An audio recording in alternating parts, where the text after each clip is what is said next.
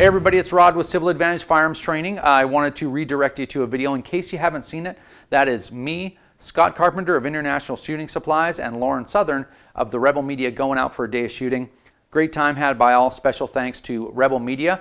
Click over here, the Civil Advantage uh, screen, and that'll take you over to the video. Enjoy and make sure you comment. Take care and we'll see you soon. Uh, summer painted pink, Summer painted black. The really important part. Yeah, exactly.